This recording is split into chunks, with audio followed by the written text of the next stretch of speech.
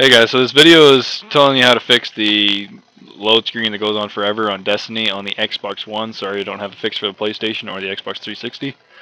Uh, so on the Xbox One, when you have this load screen going on, mine's been going on for about five minutes now. Everyone's been blaming the servers. I'm letting you know it's not the servers. So on the Xbox One, hit your Xbox guide button on your controller. You'll go to your uh, home screen on your Xbox. Go over to the disk tray. Hit the start button and go down to quit.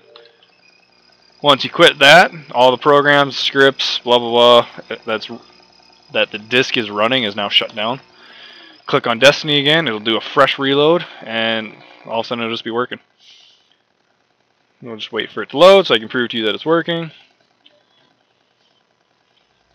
You hear the music now, and there you go. Now it's working. Load screen of the forever load screen is gone. If this helped you, like, subscribe. Got lots of videos. Lots more coming up. if you have any questions, comment.